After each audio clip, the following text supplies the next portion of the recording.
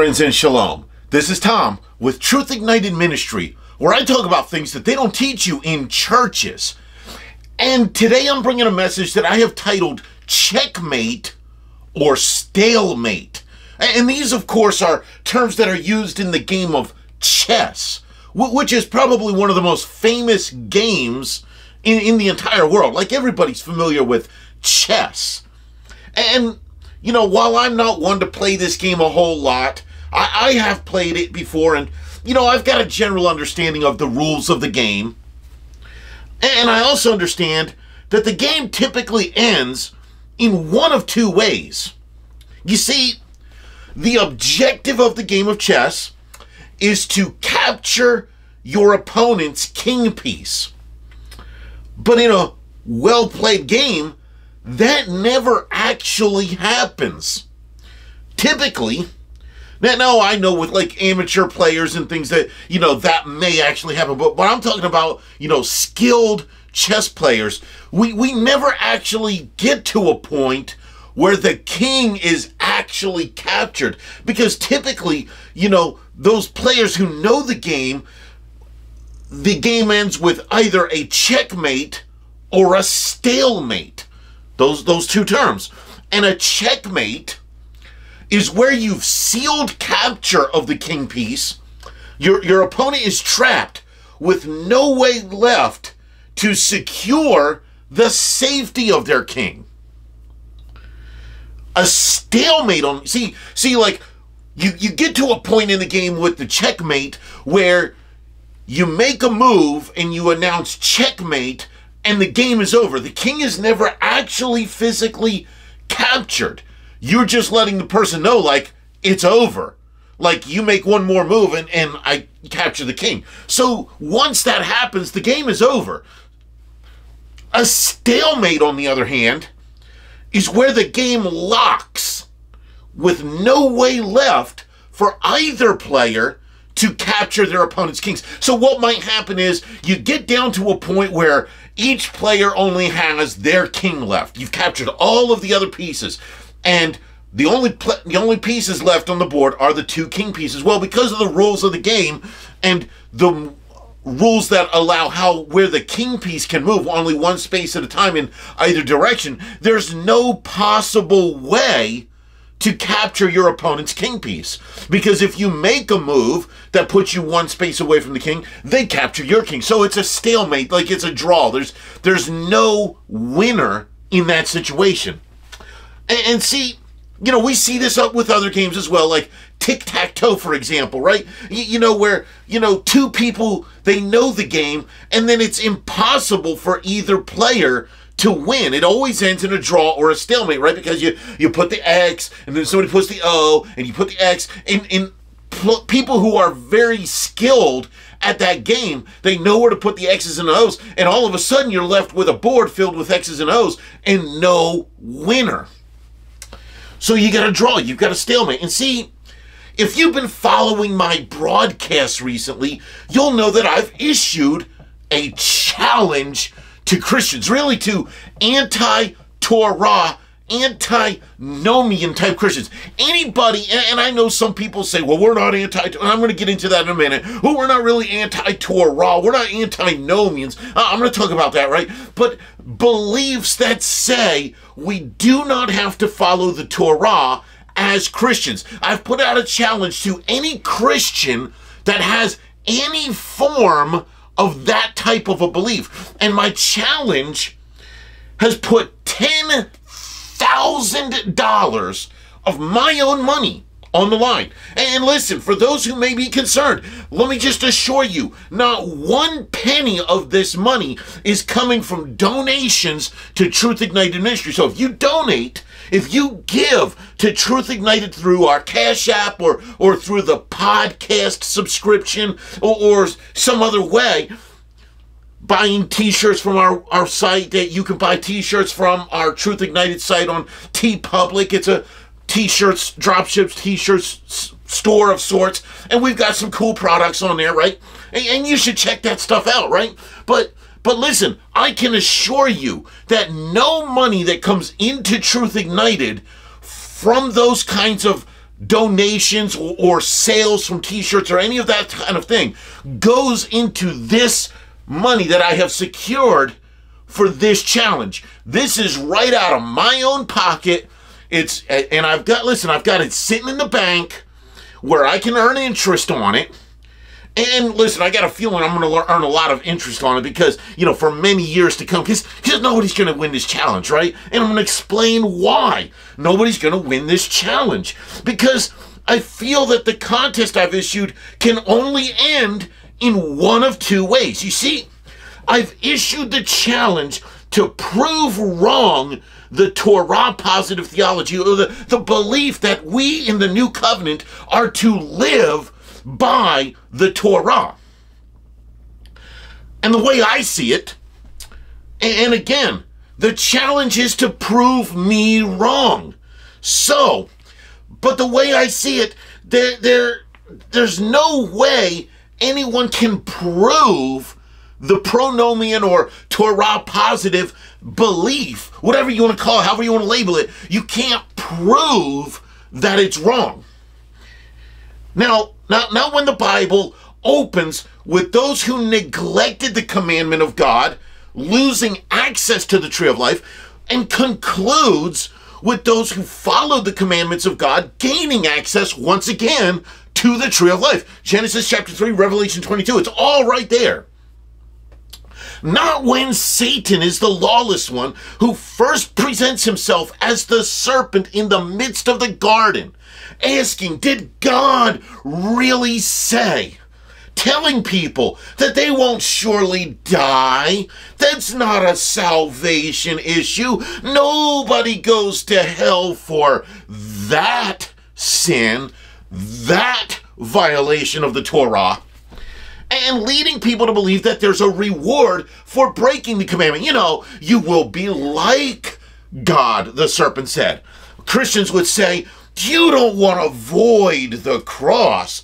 You don't want to fall from grace, do you? Now, now, not when Yeshua. I'm telling you why they can't prove me wrong. Not when Yeshua is called the righteous one. And we see him all through the gospel record, living by the Torah and telling us, his followers, to do the same. Not when 1 John 2 4 says that those who claim to be in him, those who claim to be born again, those who claim to be saved, but don't keep the commandments of God, the Torah, are liars and the truth is not in them.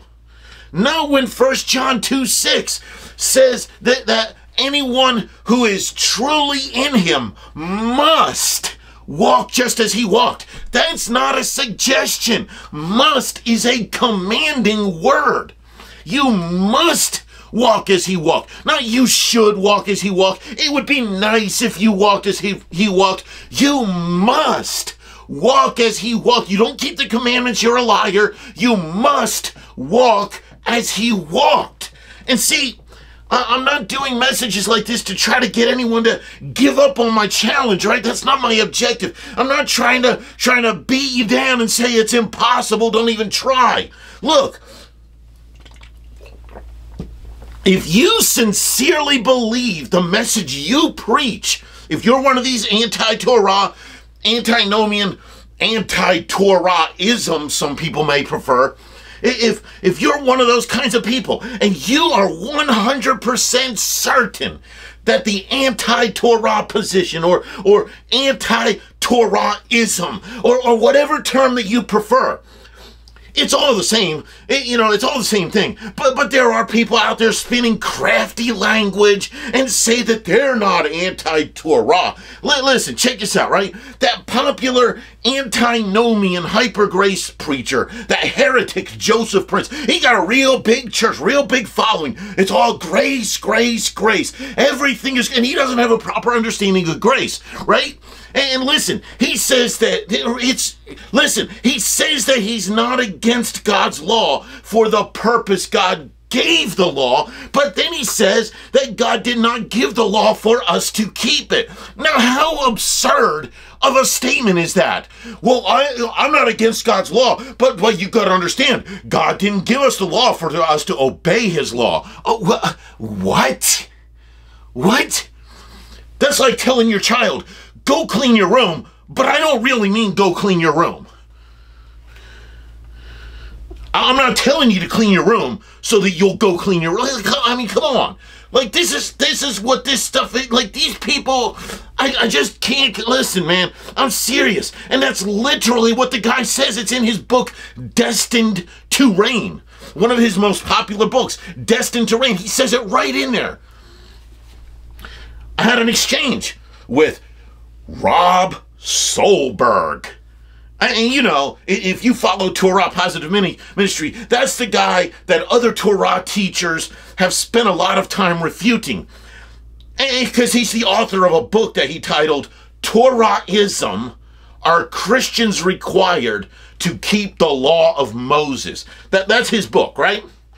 And he said to me, he said, he said that he's not anti-Torah. He believes the Torah is not irrelevant to Christians. He just believes that Christians are not under the old covenant laws. Wait a minute. Dude, you're contradicting yourself. Oh, well, well, we, you know, the, the law is not irrelevant. We just don't have to follow it. What? He, he would probably say, since it's his buzzword, that he's anti-Torahism because he, he wants us to believe that he's not anti-Torah. So he's, I guess he figures, I'll be anti-Torahism, and that's somehow different than being anti-Torah. See, these people are using crafty language to make you think that they're not opposed to God's law. Just that God's law is not for you to follow. You know, we we're not against it. We just don't believe we have to follow it.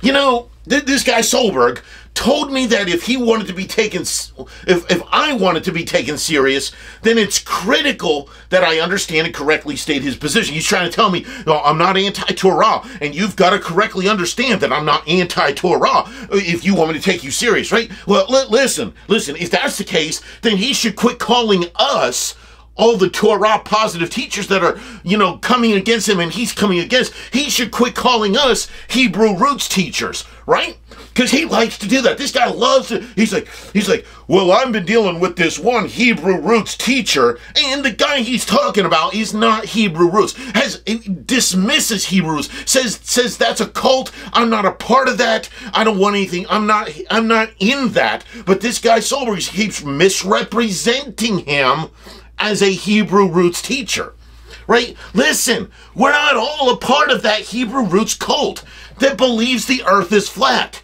claims non canonical books are scripture, uses weird sacred name cult names for Yah, the Father, and Yeshua, the Son, the Messiah. You know, they, they like to say Yahuwah, whatever the heck that is, right? Yahuwah, right? And it's just people just pulled that out of a hat somewhere, right? I, actually know where it came from. It came from a cult leader. I, have studied how the origin of that name. It comes from a cult leader out of his book, right? And Yahawashi is one that they Yahusha. Uh, that's like the Yahuwah version of Yeshua, right? Yabba dabba doo yah, right? Right? Whatever. Get, you know, the, the Hebrew roots cult gets caught up in bizarre approaches to scripture like Bible codes, Hebrew word picture codes, Kabbalist levels of interpreting the scripture, which is wrong on so many levels. They promote things like polygamy. No, no, that's for real. You look at the Hebrew roots cults, and a lot of them are po- promoting polygamy, okay?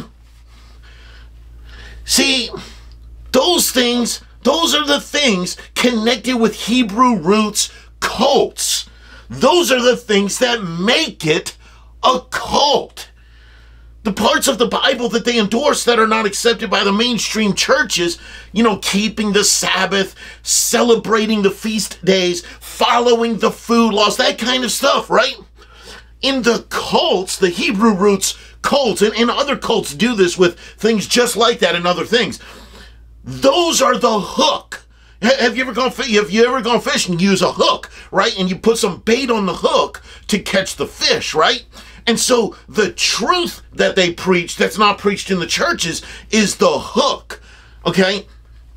And look, they, they use those things. They're the things that are used to say, look, this is in the Bible. You, you, remember the Sabbath. This is in the Bible. The food laws are in the Bible. The, the feast days are in the Bible. Why doesn't your church ever follow these things? They're in the Bible. The cults use the, the, the cults use those practices. They're used to hook you into the cult. That's what they're that's what they're there for. That's the the purpose of the cults using these biblical truths. But that doesn't invalidate them as biblical truths. They're still biblical truths that we're supposed to follow. But here's the deal, man. There's no way to prove wrong the pronomian or Torah positive position. If you set out to do it, and what you would have to do is provide an argument against this position that cannot be refuted or contested with a pronomian counter argument. That's what these guys aren't understanding. Like, uh, like that Rob Solberg guy, he said, he said, just go to my website and you'll find all the proof. I, no, I will not find all the proof you need. I need because your website is filled with articles of opinion, articles of interpretation of passages that there are pronomian counter arguments to. You have not presented an argument that cannot be refuted, an argument of a passage that does not have already a pronomian version of that passage. So you haven't proven anything. If you set out to do it, you're either going to end in one of two ways. You'll either find yourself in checkmate, finding that there are, in contrast, pronomian arguments that you cannot refute, that you cannot provide an anti-Torah or anti-Torah anti-Torahism or antinomian counter argument against. You know, take for example the flat Earth theory, right? We, we, I mentioned that a minute ago. That, that's popular in the Hebrew roots cults, right? And we can go back and forth about that with its proponents, and we'll spin a lot of our wheels trying to trying to argue with those people, and, and they can be really difficult to deal with. But but we can shut the whole thing down simply by going into space and observing the Earth. That now that's easier said than done, as humanity has not achieved yet commercial space flight, let alone affordable commercial space flight. Because I heard about one guy, one of those rich people that created some kind of a space flight that he was coming up with, and I think it was like $250,000 to buy a ticket for it, right? So even if there's space flight, commercial space flight, it's not affordable to the masses. And listen, that's one possibility. If someone sets out to prove me and other Torah positive teachers wrong, that they will back themselves, their own selves, into a corner and checkmate themselves by trying to refute our position.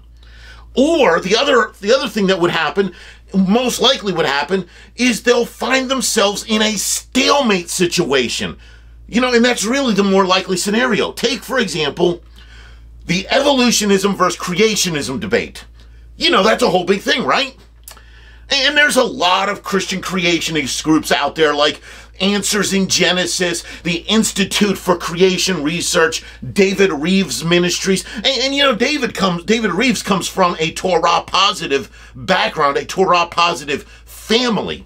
Okay, and and there's others who do a lot of work to promote biblical creationism over atheist evolutionism. But at the end of the day, neither group has proven their side over the other. All either side has done is presented a host of well structured arguments for their respective position on that debate. And, and listen, it, From there, we're left with a choice. Either embrace the atheist evolution view and take our chances that, that there is no God, when and then when we die, that's all there is, or, or, or whatever, right? Or, or even if you're not even convinced of any kind of religion, you could say, you know what? Those creationists make a lot of good points. And if they're right, then I would be better off following God than rejecting even the very notion of God, right? But listen, and until until we can come up with a definitive, solid proof that that one of those things is undeniably and, and if that happened, the other would become non-existent because there would be irrefutable proof, right? So, so like, well, what would be a good proof, right? A, a good proof would be God coming down from heaven and saying, "Hey, here I am. You, you atheists were wrong." Right? That would be irrefutable proof. Nobody, like, if that happened, there wouldn't be an atheist left on the earth. There wouldn't be an evolutionist left on the earth, right? And and that's where the stalemate between Torah positive theology and anti-Torah or anti-Torahism or, or antinomianism, wherever, if anyone prefers any of those terms, that's where it leaves us at a stalemate. You can follow the various positions against following the Torah, whether it's this anti-Torahism, people saying that they're not against the Torah, just just against following the Torah. I, I mean, how silly. We're not against the Torah we're just against following the Torah. really? Listen to full blown antinomianism and Marcionism and Calvinism and all of the other heretical isms that radically oppose following the Torah. Or you can say, you know what? The anti Torah folks have put a lot of thought into their arguments, sure. But the Torah positive folks make a really solid case in their own right. And if the anti Torah groups are right, have the Torah positive folks lost anything? There's not a penalty for obedience. God's not going to say to people, oh, wait, you mean you kept the Sabbath? You mean you followed the food laws? You celebrated those Jewish, I mean, appointed feast days? You didn't celebrate Christmas and Easter and Halloween? Well, that's just, no, no, no, no, no, no. You shouldn't have done any of those things. Depart from me, worker of law keeping, right? That's not what the Bible says, right? But, but what if these Torah people are right? What if we're right? If if we're right, that does what does that mean for the anti-Torah people? Those who say that we do not, as Christians, have to follow the Torah. And, and that really is the question that hangs over the head of every single person who says that we don't have to live by the Torah. What if you're wrong? You may not realize it, but if that's you, if you're listening to this and you're of that antinomian, anti-Torah, anti-Torahism, whatever you want to call it, whatever whatever's in your mind to call it, right? Uh, that question is hanging over your head right now. It's haunting you. And if you don't heed it, it may be the greatest regret of your life when you stand before God at the judgment. A lot of people might be regretting that. My challenge, my $10,000 reward, all that aside, there's no argument that has ever been made by the people who say we don't have to follow the Torah that has not been countered by an equal or even stronger counter argument.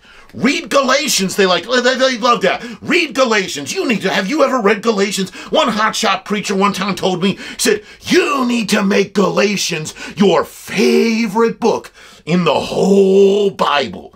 Listen, I got a whole bunch, here's a few of them right here, whole bunch of pronomian, messianic, leading messianic scholars have written commentaries and books about Galatians that explain Galatians from a pronomian perspective. Mark 7, Acts 10, Romans 14, 1 Timothy 4, Colossians 2. You know, all those passages about the food laws are done away with, right? And listen, I and others have written solid, pronomian counter arguments to the popular antinomian Christian understanding of those passages. Jesus is your Sabbath, they like to say, right? The, the Bible never says that, but Yeshua is the bread of life. Does that mean that you don't eat food? Yeshua is the light of the world. Does that mean you can't turn on lights in your house or, or go outside in the daytime when the sun is out? Yeshua is the door. Does that mean you remove the doors from your house and hope that Yeshua keeps out all of the bugs and the burglars? See, you can disagree with the pronomian position. You can disagree with our counter arguments, but you can't, you cannot prove that we are wrong. You cannot prove that your anti-Torah, anti-Torahism, or, or whatever you want to call it, is right. You might convince some people of your position, but we might convince others of ours. But neither can be proven to be right. So we're left with common sense. We're left with what is the most logical conclusion, erring on the side of caution. And that will always be the path of obedience, the path of Torah obedience. Because you know what? The anti-Torah, anti-Torahism, whatever positions always pit the Bible against the Bible. They're always saying things like, that was for this time. This is for this time. They're always saying things like, that was for Israel. This is for Christianity. But the Torah positive position always makes the Bible one complete and agreeing Word of God, the same yesterday, today, and forever, a book that changes not.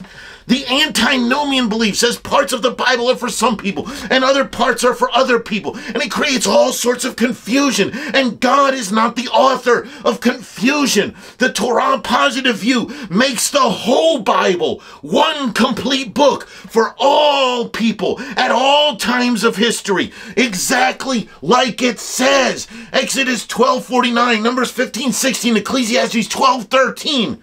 And that is where we, the Torah positive folks, will always have the majority view of anti Torah forms of Christianity in checkmate. That's where we've got them. Because you can't prove it wrong, but common sense says obey this book, obey the Bible, obey the Torah of our God. That is the only most logical conclusion that you can ever come to. And friends, I gotta bring this broadcast to an end now.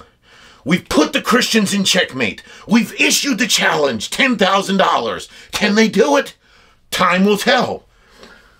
But for now, I gotta say, there's much to be gained by a return to the discarded values of the past and I'll see you in the next message. Shalom. Hey there, I'm so glad you tuned in today. Now, if you enjoy the teachings of Truth Ignited and you want to financially support the ministry, we want to offer you a few ways to do that. First, we've got our Cash App. Scan the QR code or use dollar sign Truth Ignited. Now, this is a preferred method because we don't incur any fees for this service. But we understand that not everybody uses the Cash App, so you can also go to our Spotify for Podcasters page right here, and you can sign up to become a $5 or $10 monthly partner. You can also visit truthignited.com and give your financial support there and find a lot more great messages just like the one you listen to. Also, be sure to check out our T Public store where you can find a lot of really cool merchandise, t-shirts and other items that you can use to show off your faith. Be sure to follow Truth Ignited on Facebook, Twitter or X, YouTube, Instagram, Spotify, and Apple Podcasts. And remember to share these messages on all of your social media pages. I'll see you next time. Blessings and shalom.